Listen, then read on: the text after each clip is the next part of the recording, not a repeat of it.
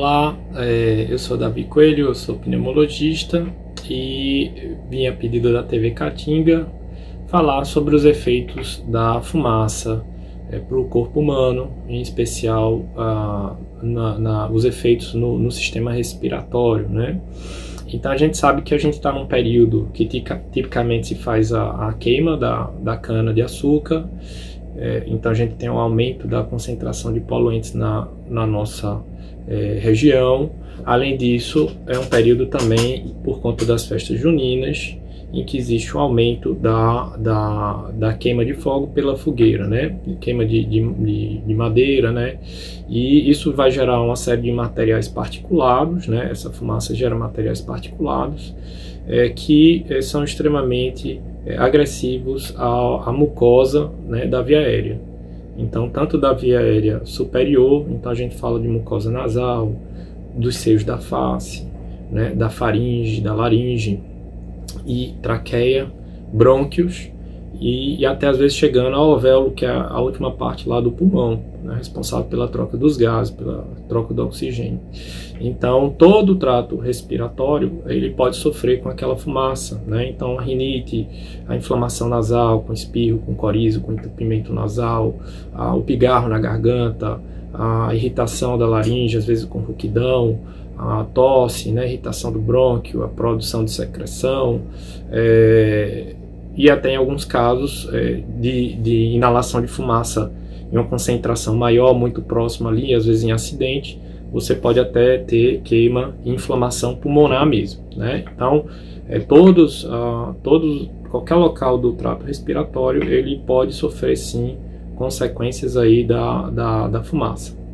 Quem mais sofre, com certeza, são crianças, né, os idosos e é, pacientes que têm já alguma doença respiratória, né? Por exemplo, quem já tem rinite vai, vai piorar as crises, né? Quem já tem asma é, vai descompensar provavelmente do quadro asmático, né? É um período muito comum, até porque fica mais frio.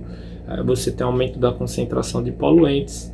É um período propício para descompensação, aumenta normalmente a procura ah, de serviços de saúde e considerar também que também existe um aumento da, da proliferação de, de infecções respiratórias, né? tanto influenza quanto essa no, esse novo coronavírus que a gente está vendo é, causar um estrago gigantesco no nosso sistema de saúde e no mundo, né?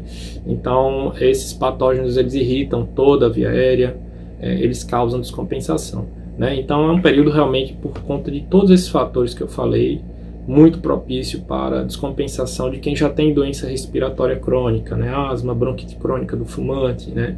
É, a DPLC, que a gente chama hoje de DPLC, né? Doença pulmonar obstrutiva crônica. Então, são pessoas particularmente é, sob risco de terem problemas mais graves pela exposição da fumaça, certo? Além disso, você pode ter irritação ocular, também a, a mucosa ocular também pode sofrer com essa com, com a fumaça, né? Então é, a gente pede muito para que é, se evite fazer, principalmente a gente dentro desse contexto que a gente se encontra hoje.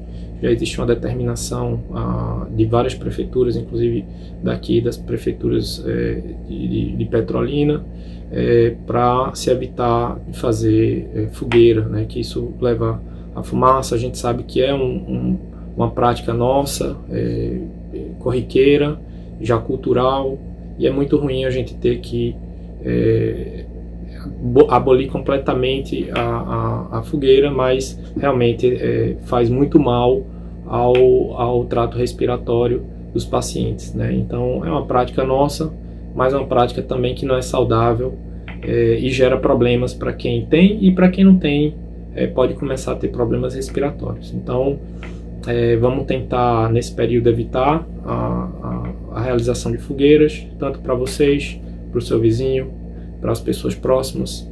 A, a gente sabe que isso pode provocar uma inflamação na mucosa, facilita infecções depois bacterianas ou virais, né, porque a mucosa fica mais sensível, é mais difícil de ocorrer uma defesa adequada do corpo numa situação dessa.